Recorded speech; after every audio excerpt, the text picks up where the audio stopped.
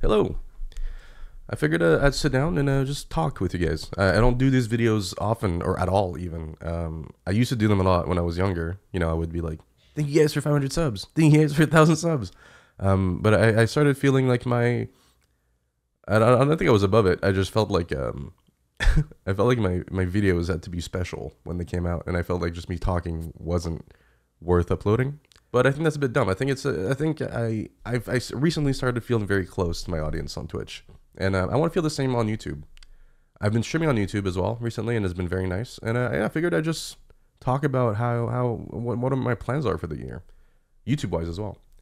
Um, at the beginning of the year, I told myself that uh, like I'd make it a bit of a clean slate, and I'm I'm really not the type of guy that's like, New Year equals you know like I don't think the fact that the passing of a year happens makes it so it's all a fresh start. It's just the passing of time, it, it, you know. But I think I needed a bit of that mental reset and allowing myself to feel that like opportunity opening. This year, I told myself that I, I'd, I'd be more active in the things that I love doing. I have a problem, and that tends to be overthinking everything. Like I, I just think, I just talk myself out of doing a lot of things because I think of all all the things I have to do to accomplish them. And I think I want to kind of stop that and I want to start just simply doing. And I think that, you know, hopefully there'll be a chain reaction to also help me in my daily life, you know? So uh, let's uh, let's change the scenery today. Let's uh, let's I don't know, let's change the scenery.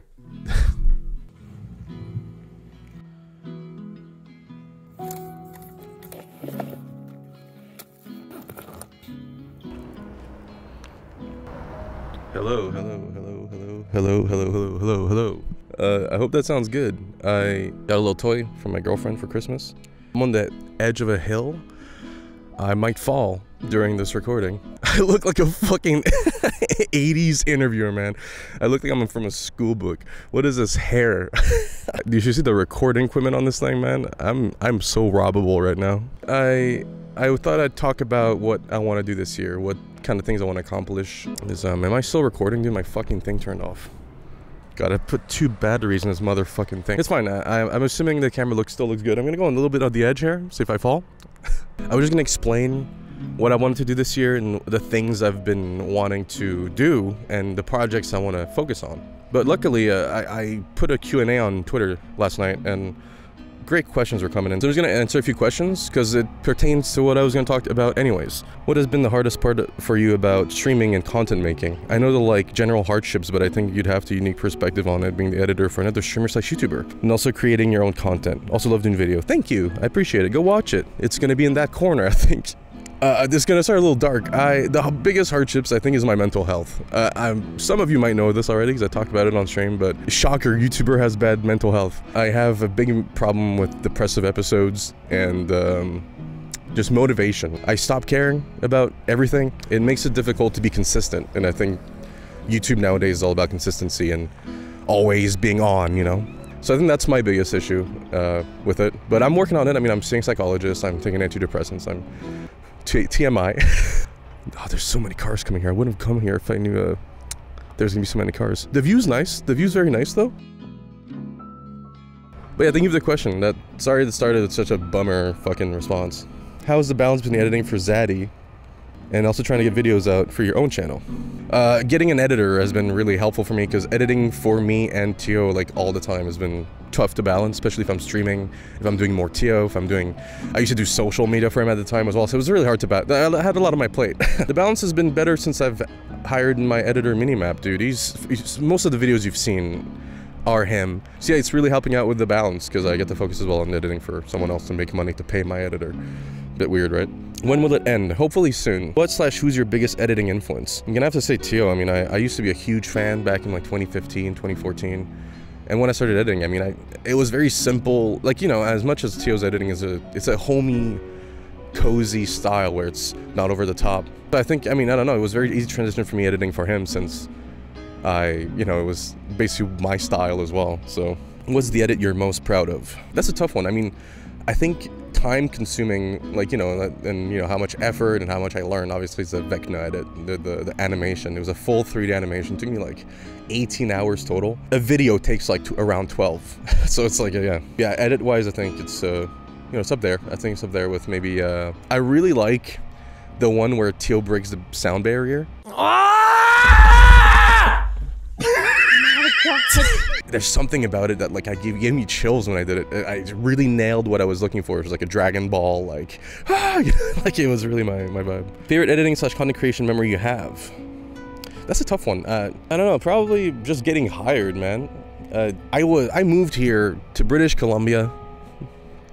I don't know if this is a good view from this cam this lens. I moved here for, to be with my girlfriend, and I had no job. I, I tried to find jobs, but you know, no no one would hire me. So I just kind of grinded streaming and doing uh, commissions, and I was barely passing by. Then two hired me, and it kind of put a stability to my life. When my stream started doing better as well, like the combined incomes, like it's not spectacular, but I can live with it, which was super. Uh, that's I think that's yeah. I think that's it. What, what was it? The question? Content creation memory. Yeah, uh, realizing that I can do this for a bit, you know, well, till I'm tired of it, maybe, or I don't make enough money, but getting enough combined income to be able to do this and not have to go to a normal job, I think is my favorite memory, I guess.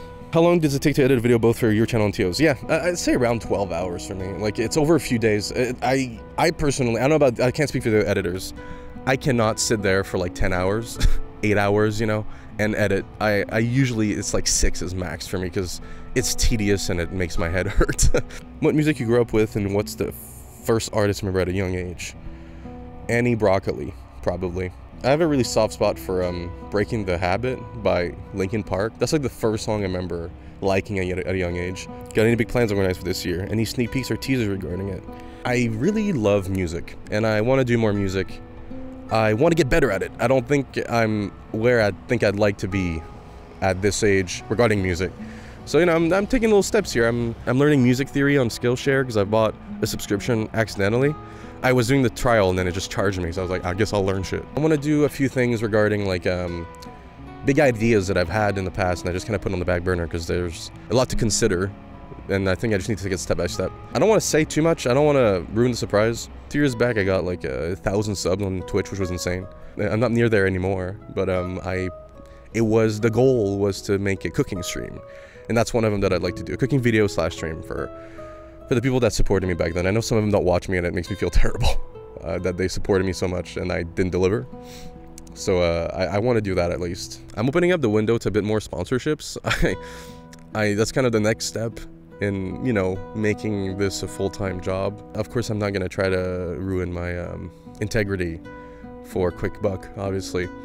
But um, if there's anything I think is easy to for like you guys to digest as a sponsorship, then I'm gonna I might take it. I think that's uh, that'd be cool to be able to do this, you know, YouTube and streaming full time, full time, you know. And uh, God, I wish I planned this out more, man. I'm, I'm like feeling on the spot. There's someone over there, and I'm scared. I'm I want to also just go out more and do things like this. I, I'm I'm really happy I'm here. I'm vibing, honestly. I'm kind of just hanging out. I I swear to God that I don't go home, and something has stopped recording. You know what I mean? Matter of fact, I'll check if it's still recording. I think we're good. I think we're we're chilling. And I'd like to yeah, just experiment more with my channel. Um, from the past few months, I'm gonna just talk about whatever the fuck I want at this point. I'd love to do more fun things, not just me sitting there playing games. Um, there's a woman over there, and I'm scared. I've been streaming consistently for the past like you know week and a half, and I don't. It, it feels uh, like I'm like this with my chat. I just wanna I just wanna feel a little closer to my YouTube audience. Why? Which way? I've been streaming on YouTube. For those that have been missing that, tune in. Get that parasocial relationship going, right? When did you start editing, and have you actually studied it? No, I um, I've always been interested. Uh, okay, let's start from the beginning. YouTube has been, I think what the fuck was the question, dude? Yeah, I didn't study editing. I was just wow, I'm yapping, bro. I'm just gonna cut it, man. No, I just I, I put stuff on YouTube, and you have kind of know to know how to edit to do YouTube. So I just learned it. Uh, you know, just tutorials. You know, you download a software, you look up tutorials, easy peasy. You know. And when I started working for Tio, that's when like you know, I was doing it consistently, even if it wasn't for me. You can learn anything on YouTube or Skillshare if they'll sponsor me. Skillshare is great. How'd you mentally get past the phase of editing where you kind of know what you're doing, but not really? When I look at my stuff, I get embarrassed about it, so I can't do much yet, and it kind of holds me back from doing as much. You have to just kind of get, you have to be at peace with the fact that you won't be great from the beginning. And I mean, for me, in my case, from with music, I just didn't upload anything publicly until I was, I felt like it was ready It doesn't mean you have to do the same, but yeah, I, I still get that block sometimes, even now. I get in this part where I'm like just cutting everything together to make a video, and I get like stressed. Like I get blocked because I don't know I don't know where the video is going and I feel like you can't just put moments together. Sometimes you need a little bit of a flow, right? And once I'm past that, it flows much easier and I get less stressed. But yeah, I still get it nowadays, so I, I totally get if that's how you're feeling. any favorite songs? If, or if it's too hard to choose, if you could recommend any song right now, what would it be? I'm kind of a I'm, a phase type of guy. I'm like into my I, I, just go back in time. I live off of nostalgia, really. And right now I'm I'm uh, listening a lot to Candles by Daughter. It's a beautiful song. Right now I'm kind of into Virtual Aerobics by um, Wallows, which I really enjoy. What instruments do you play and which one was the first one you learned? I think I, I got a keyboard, piano keyboard when I was a kid and I learned a few songs on it. I did not know how to play piano. I just happened to know Für Elise and River Flows in You, you know? But when I, uh, I got older, I learned guitar in school. I, I had a music class, so I just had to learn guitar and I'm glad I did because I always loved music. And so I learned it at about 16, 17. I'm learning piano better now. I think I'm like, I'm able to learn songs really well, which is good. Someone's staring at me. I'm really, really scared. I, I know how to play bass. I, I own a bass. I, I mean, I don't think bass is that hard when you just do a few notes, like root notes, you know? And uh, I've, I've, I used to play a little bit of uh, electric drums at my mom's, but uh, I didn't, the kick drum would like make the whole apartment resonate, so I didn't use it. So I, I, I wish I knew more of drums, but I'd love to get another drum kit eventually. That'd be really cool. Do you have any tricks or secrets for doing the perfect captioning for videos? For example, timing, font color, and maybe a little keyframe tricks. Just overall feel? Yeah, it is an overall feel. It's one thing I've noticed that I got better with is how much of the sentence you want to fit into a line of words before you cut to the next part of the sentence. I'll put an example as I'm doing it. Yeah, and you're just finding movement. Like, I even know we animate our captions sometimes and finding the movement that match best, like the scream or the the way someone says something. Uh, so if someone's like, Ooh, like it's like a little wiggly font, you know, if someone's screaming, it's like a shaky font. Yeah, it's, it's it comes with you as you go, and it's one of those things you don't even think about after a while. I really struggle with finding background music because I usually don't like what I find on YouTube. If you need to, to use music in a video, how do you search for it? I use Epidemic Sound. I have a subscription for it, and um, honestly, if you do a lot of videos, completely worth. The YouTube library is uh, if you don't if you don't want to spend money, the YouTube library is really good for it. Just look up like YouTube audio library. They have either songs you have to, you know, put a credit for or just like straight up fine. You can just use it. But yeah, Epidemic Sounds is really good for it. How's your work-life balance? Editing takes a massive chunk of your time, I'm sure. How are you managing? You good? Uh, I think so. I, I'm I'm trying to get to a point where I take days off that I plan and that I don't end up working anyways. There's a lot of days that I'm like, I'm just gonna do music today, and then I end up doing like three things for work. Because sometimes, like, like say I'm like streaming the next day on YouTube and Twitch, and then I have to do a thumbnail for YouTube. So I have to do the day before because I get up and stream. You know, definitely I think it's something in the future that I have to have a very good set schedule that I just don't work because I think it's healthy to take breaks. What's the video of which you're the most proud of? Man, I gotta say, I think the title of the video is like Among Us among Us, matey. Something like that. It's the one where we're like at pirates and it's like a trader, like social deduction game. The storytelling in that, I, I don't know how I pulled it off, man. I I am so happy with the result of that video. And I think to this day is the best video I've made. it took forever though. The game releases you're excited for? Yeah, um, the Supermassive games, I'm very excited for that. They've released a teaser for their new ones coming out and I love playing that with Tio, so. Do you have a favorite game to play at the moment? Yeah, uh, right now it's I guess Clone Hero. I, I bought a guitar, uh, you know, Guitar Hero guitar. Been playing it. I made my own song too. Well, my own song. I, there was a song that I really enjoyed, so I made like a chart for it so that I can play it myself. And it was very challenging. It was fun. Otherwise, I think Hunt Showdown is uh, pretty fun. All right, that's pretty much all the questions. But yeah, I, I hope uh, you guys like this different style. I guess I don't. Even, I hope this turns out good. I'm gonna go home, put in the computer, and hopefully I don't cry. Uh, I don't think I have any closing statements. Yeah, if you have any questions, hit me up in the comments. Um, I'm just I'm very excited for what's coming. I just having fun, honestly. Yeah. See ya. Hello, uh, I'm walking home, uh, but I forgot to mention I, I have a Discord.